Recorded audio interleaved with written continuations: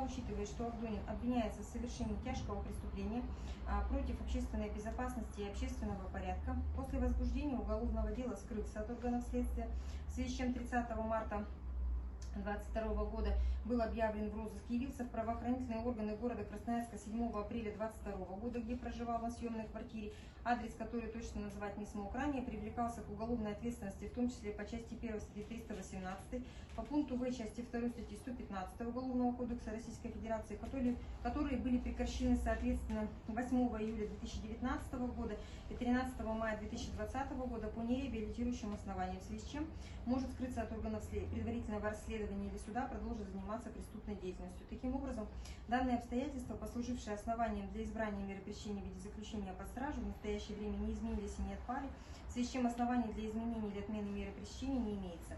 Оснований для изменения меры пресечения, в том числе в виде залога домашнего ареста либо запрета определенных действий с учетом вышеизложенных оснований, в настоящее время не имеется, поскольку указанные меры пресечения не смогут исключить возможность обвиняемого скрыться от органов предварительного следствия или суда продолжит заниматься преступной деятельностью. Доводы защиты о необходимости осуществления ухода за малолетним ребенком в связи с полученной травмой Авдониной суд не находит Э, достаточным основанием для отказа в удовлетворении заявленного ходатайства при наличии иных родственников и соответствующих органов, которые могут обеспечить уход за ребенком в период болезни матери. Медицинских противопоказаний, исключающих возможность дальнейшего содержания Абдонина, не установлено. Продление срока содержания под стражей вызвано объективными причинами, что подтверждается представленным материалом.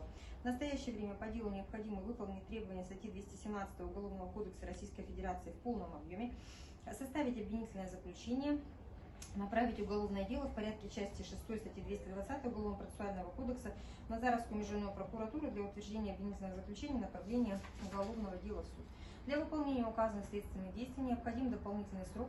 Кроме того, уголовное дело подлежит направлению прокурором в суд не менее чем за 14 суток до истечения срока содержания обвиняемого под стражей. Согласно статье 221 УПК РФ прокурору предоставляется 10 суток для рассмотрения поступившего от следователя уголовного дела с обвинительным заключением.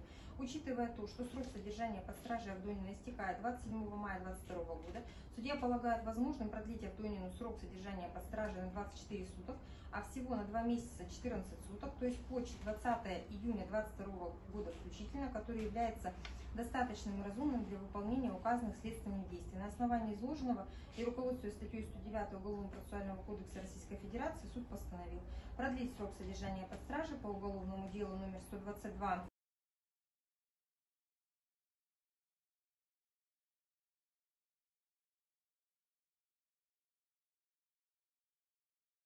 края на 24 суток, а всего на 2 месяца 14 суток, то есть по 20 июня 20, 2022 года включительно.